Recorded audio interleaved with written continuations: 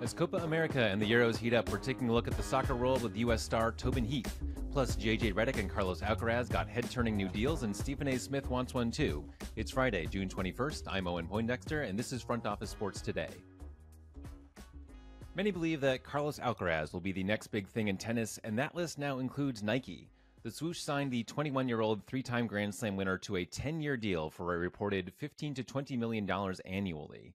Alcaraz will also get his own logo, something Nike has only done previously in tennis for Roger Federer and Rafa Nadal. The Olympics on the horizon, athletes are competing to qualify for the U.S. national teams. The U.S. swimming trials at Lucas Oil Stadium drew 22,209 fans, which is now the world record for a swimming event. The gymnastics and track and field trials made news for a different reason. The track and field trials, which go on through the end of this month, carry a top prize of $11,000. For gymnastics, the top finisher earns $0. Stephen A. Smith wants to be ESPN's highest paid employee, an honor currently held by Troy Aikman, who makes $18 million per year. In his latest Tuned In column, my colleague Mike McCarthy reports that Smith is looking for $20 million a year. He could be incorporated into the network's NFL coverage, and if he doesn't get what he wants, he could take his podcast and YouTube show and production company and strike out on his own. The guess here is that Stephen A. and ESPN get a deal done. And the Los Angeles Lakers have hired JJ Redick to be their new head coach with a four year deal believed to be worth around $32 million. Selecting someone who has never coached before for a high profile hire is notable enough, but this one has the added wrinkle that Redick co hosts a podcast with LeBron James. Last year, LeBron said that Anthony Davis is now the face of the Lakers. However, the Lakers just hired his friend and are the favorites to draft his son, so this is still LeBron's team, that is, assuming LeBron doesn't exercise his opt out clause following the NBA draft. Up next, Tobin Heath has been a central figure in the rise of women's soccer in the U.S. Now she has one foot solidly in the world of media and commerce. We spoke about the state of global soccer, the rise of the NWSL, and how she wants the sport to grow. That conversation is coming up next. Very excited to be joined now by Tobin Heath, soccer player, co host of the Recap Show, co founder and co CEO of Re Inc., and also I hear a diehard Arsenal fan. Welcome, Tobin. Thank you. Happy to be here. Great to have you on. So let's start with the recap show. You you co-host with Christen Press, now back for a third season. Uh, what's the show about, and how has it evolved over time? Yeah, um, originally it started as our version of kind of a talk sports show. Um, we launched last summer uh, during the World Cup, so obviously there was a lot for us to talk about. Uh, it was the first time for for both Christen and myself not playing in a World Cup for over a decade. Um, so we had a lot of institutional knowledge and I think authenticity and trust on on that uh, sporting event. Um, but I think what we realized was there was kind of like this massive gap missing in in women's sports media, which is actually just like our culture. And we were like, well, we've always kind of opted into like this sports culture that kind of existed before us, which is is cool. You know, most of us learned sports, you know, through you know, men watching men play or, you know, male coaches or men's players that we looked up to in the game.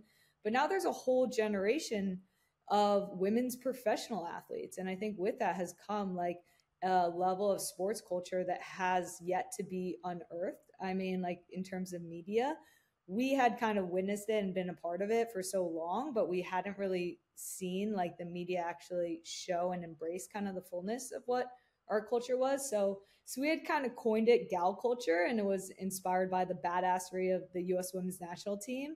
Um, and it's kind of this unapologetic, unfiltered version of of women's sports.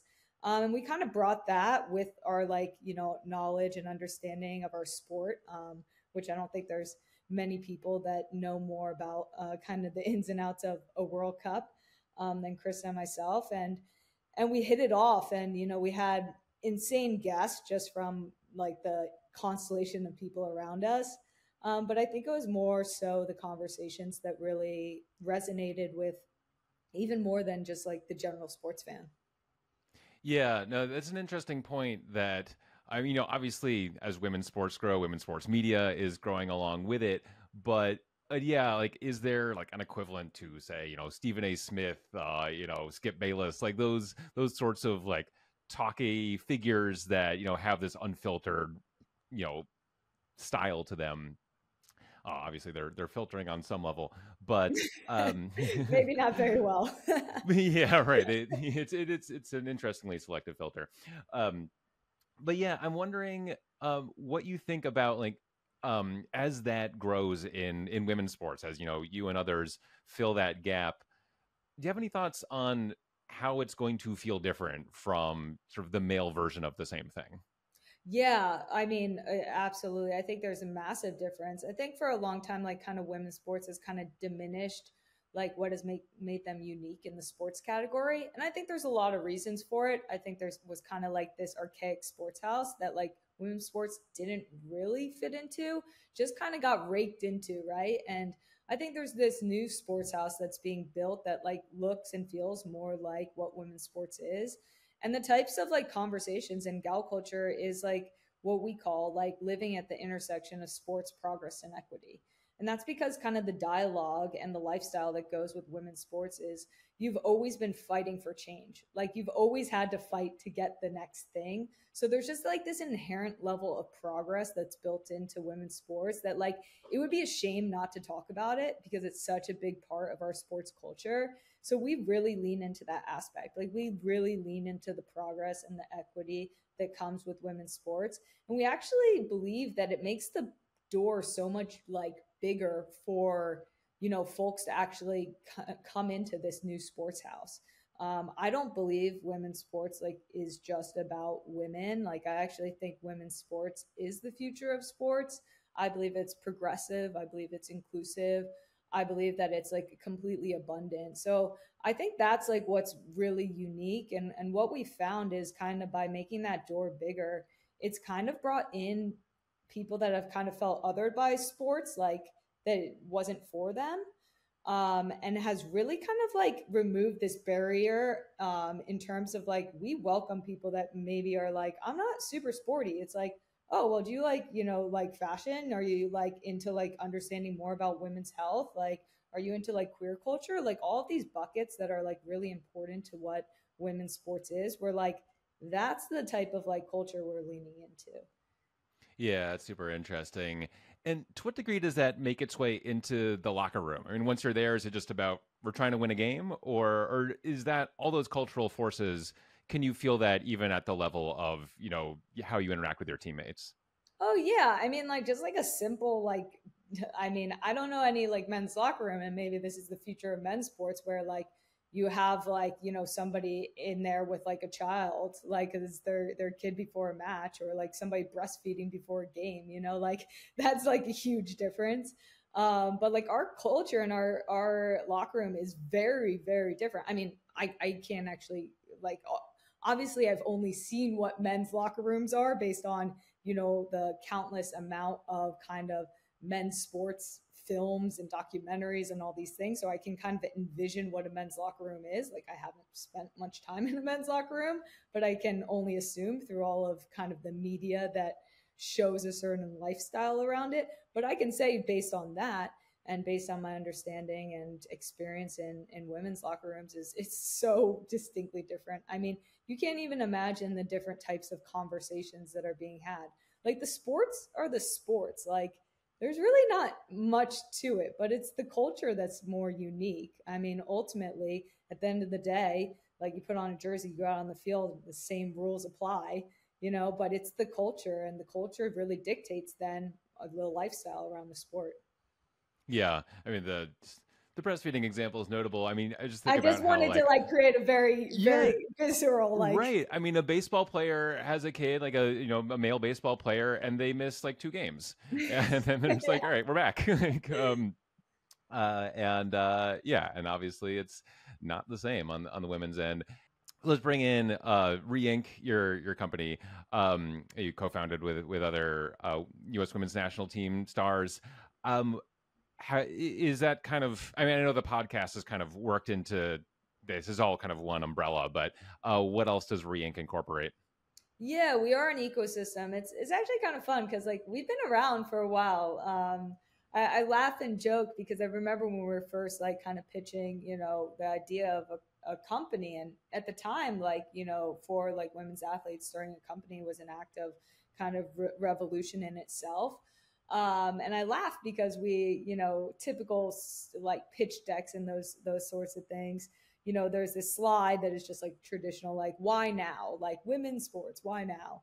and it was like a nauseating slide for us because it was like this idea like you had to kind of explain women's sports you know and and i laugh because now you know four or five years later it's like the quickest slide you go through is the why now slide on women's sports you know and it just shows how much progress has been made in you know four to five years and and i kind of laugh about it because it's like uh, like everybody's amped on women's sports right now, right? And and it's great, and it really has been a groundswell of like so many folks that have invested, you know, their careers, but also like their time and energy into it, um, and have believed in it. But it's it's funny to me because it's like this idea when when I hear people excited about it as if it's something new, um, and it certainly isn't. Um, but I will be the first one to kind of praise the incredible momentum around it. Um, but yeah, our company was started actually in commerce. We started with a single T-shirt, um, and then we started our subscription platform, which is a platform that represents over 60 countries. Um, we call them our reimaginers. Um, it's a global community of folks that care about the sports and the change making. Um, and they honestly, we created this platform because they just asked for it. Um, for folks that have been a part of, you know, women's sports, you know how fragmented the community is, and they were like, just, you know, build us a place that we can come together around the things that we care about, the sports and and the change making. And we are like, okay. And it's honestly the the gold to our business is is our community. Um, there's incredible things happening in it that just you know blow blow our minds, and then obviously our, our latest endeavor was the creation of remedia which um, for us was the thing like we've always had a flywheel business between commerce community and and content and for us the media division is what has really like started our flywheel up in a big big way because we were really looking for top of funnel like bringing the biggest amount of audience and what we found is there wasn't just a need for this type of like type of media, but there was a huge want for it. Um, and and that's what we've really leaned into in terms of you know growing our business um, is kind of increasing that top of funnel audience um, and bringing them into being like hardcore reimaginers. Yeah, and you know you keep saying women's sports plural, and to to what degree? I mean, how quickly does it become like one community of you know soccer, basketball, softball? You know, the PWHL is is up and running now. Um, does it feel like it's it's all one thing once you kind of you know take one step out of your your, your immediate community? Yeah, yes and no. So within our community, like I think a great example is like we have these series called Watch Watch With, and um, essentially our our community gets together and they create watch parties around all different sports. And you know our community started in global football just by the nature of the founders. But within these watch withs, we've seen watch withs in mount downhill mountain biking. You know, obviously the PWHL, like we had a massive as soon as that league was announced, we had massive amounts of watch lists for for those events. Um, and also like a lot of learning around new sports. Um, and obviously the WNBA and, and soccer globally. So I'd say like with women's sports is like kind of this more collective feeling around the sports. But I will say like some frustration that I have is this idea that women's sports kind of gets clumped into a bucket because people like think it's small like where they'll be like i was in you know a pitch with with um a, a media executive and he was saying like what their priorities were and it was like you know we have golf we have the nfl and then we have you know women's sports as if like that was a singular sport. And right, yeah. that kind of rubbed me the wrong way because you know we're trying to get to like this this big scale of what women's sports is. And as long as there's folks in the room that are trying to categorize women's sports as this one thing um, i think that's keeping it small um, and i believe that like there are big enough communities for for all different sports and and each one of them is important. And and i talk about the the caitlin clark um, effect and people were like oh my gosh women's sports is having a moment.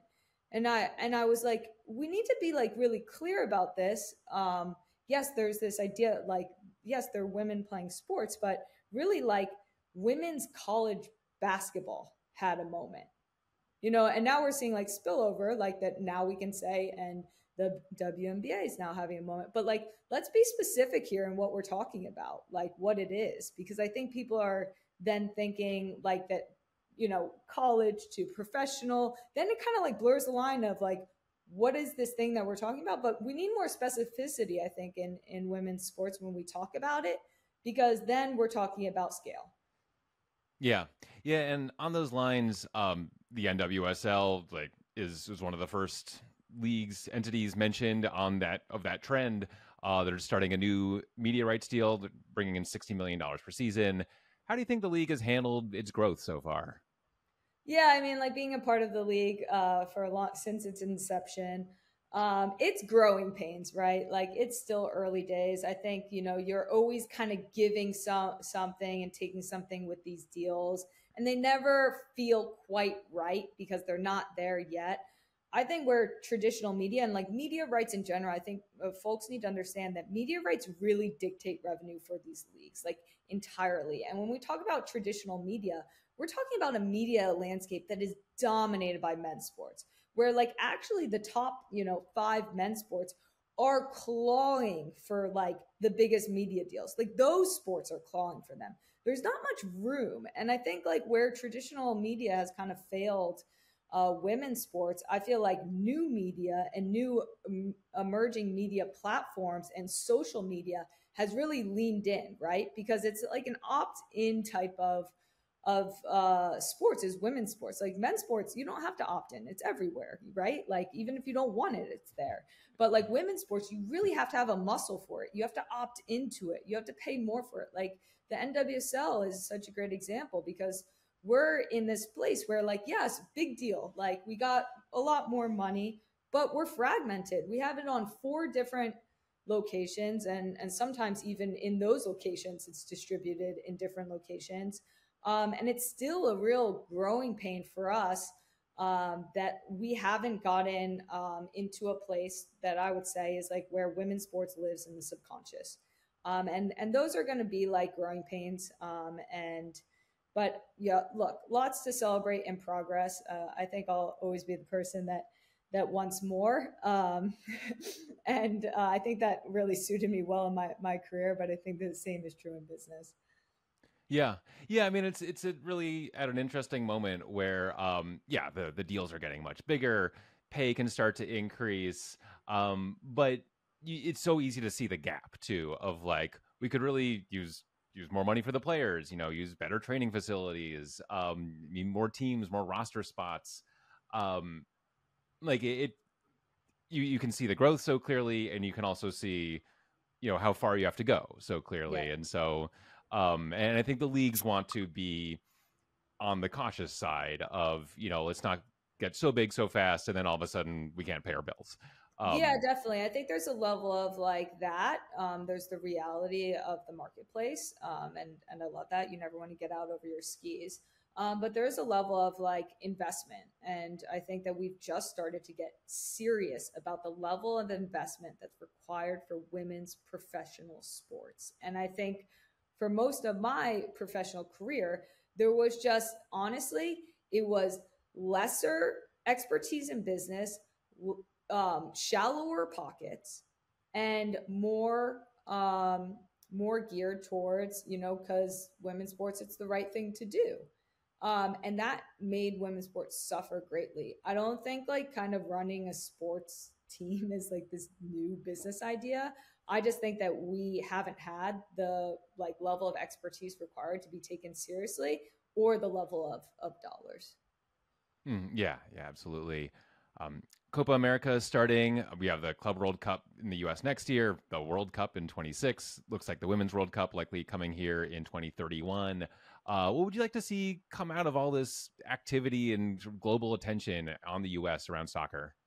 Uh, I'm so stoked. I mean, right now we have Euros and Copa. I'm excited to watch Argentina play Canada um, tonight. That's going to be certainly interesting. Uh, but there's this like massive amount of energy coming towards the U.S. when we're talking about um, global football, and I think it's a great time for our country to really absorb it. Um, look, we're we're a great sporting country, but we're not like a footballing country. Um, but I think it's a, a real opportunity to change, like generationally, the way that, in particular, men's sports is here in our country. Um, I think about what the 99 World Cup did um, for me as a kid, you know, being in the stands and, you know, my generation that then w- went on to win 2015 and 2019. I think every single um, woman in that locker room had a story from the 99 World Cup. And I can imagine, well, hopefully, if our, our men's team, you know, does well, which hopefully they will, um, could really inspire um, a whole generation in the way that they view football in our country, which I think could really like shake us up a little bit um, and maybe put us on the map in a serious way as a as a contender um, in that sport. And you've played in this country, but also France and the UK. What do you think the US can learn from European teams and maybe other international teams and other leagues?